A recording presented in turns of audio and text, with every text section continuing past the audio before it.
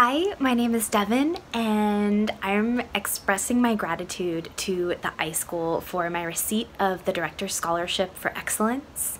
I currently work at a library, and it is my dream to become a librarian working there. So, thank you so much for the scholarship, which makes that goal just that much more attainable.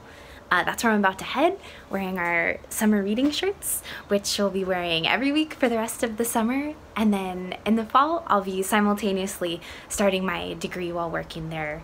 And I am very excited to start classes at San Jose State. So I'll see you in the fall, and thank you very, very much for this opportunity and for the scholarship.